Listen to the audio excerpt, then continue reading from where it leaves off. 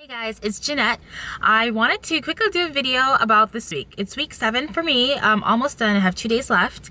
And um, I just went through my first simulation. Um, so obviously, well, if you don't know, um, a simulation is kind of a scenario where your professors um, give you a case study, uh, you do all this prep work, looking up medications and answering questions, etc. And then you and a group of people will go in and um, pull out roles and then you will act whether the primary nurse, the medication nurse, a family member, the patient, etc. So obviously it's a little nerve-wracking when you're literally putting everything that you've learned so far in the semester into a 30 minute skit and then you're hoping that you are doing everything correctly from uh, speaking properly, asking the right questions, to assessing correctly, and um, to actually perform the skills um, as they should. So it was a little uh, nerve-wracking just going into it. A lot of the prep work um, took maybe about 10 hours before, like during the weekend. Um, and the time really went by. I had no idea that 30 minutes go, go by so fast. And I actually um, I picked the role of an angry family member. Um, so I had a kind of a, a skit, uh, you know, a set of uh, statements that I should be speaking as the skit goes along. Um, and then my peers, the nurses or whoever, whatever role they were, um, they were to address, etc. So anyways, um, that went okay.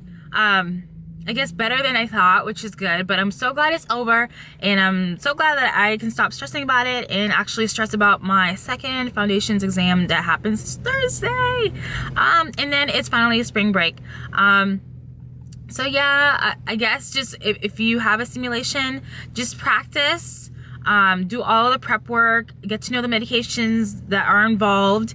Um, and if you can it depends on the program meet with your group and try to just switch roles just to see if everyone can act as a primary care nurse if everyone can act as a medication nurse. Um, and then just review the skills that will be tested. If you have to uh, do transferring a patient from i don't know a chair to a bed or a bed to a chair or whatever um, just practice that.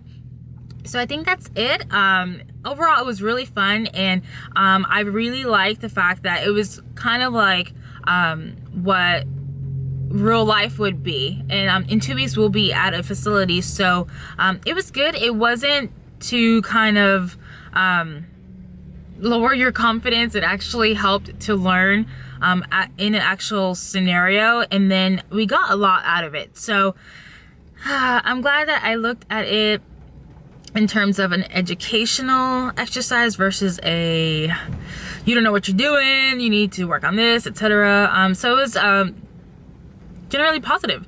Um, it was really good. Um, I don't know what my next one is but I'm glad that one's over.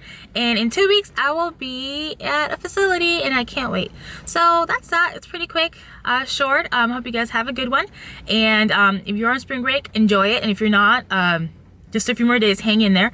Uh, don't forget to uh, comment, like, and subscribe and share. Um, yeah. Well, thank you guys. Have a good one. Bye.